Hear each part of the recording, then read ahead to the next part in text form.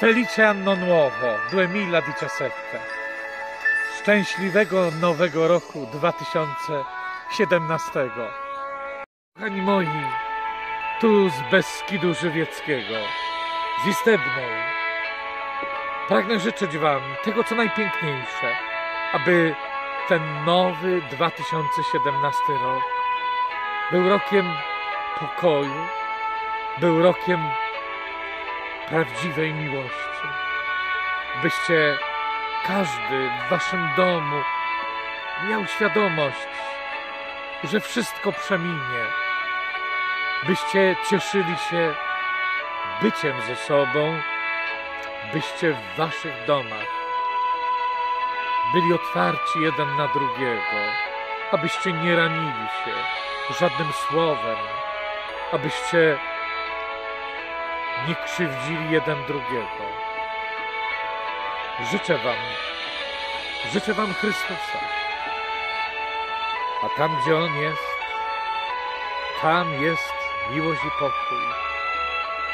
Niech też i w domach świętego Ojca Szarbela, w Polsce, w każdym z tych domów jaśnieje światło, które będzie jaśniało i zapraszało innych waszych sąsiadów, przyjaciół, by brali do dłoni różaniec w tym roku, gdy patrzymy w stronę Fatimy, 100 lat, od kiedy przyszła nasza matka ponownie pośród nas i powiedziała: Dzieci moje, przychodzę do Was, bo bardzo Was kocham.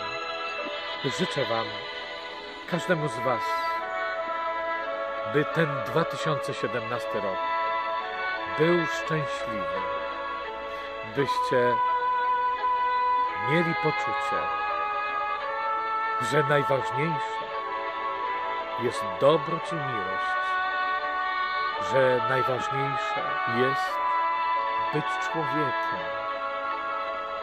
To znaczy tym, który w swojej prostocie, swoim miłości do Boga zawsze będzie pamiętał o drugim, tak jak mówi i prosi o to papież Franciszek.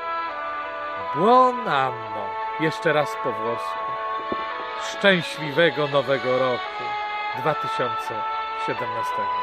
Szczęśliwego nowego roku z Beskidu Żywieckiego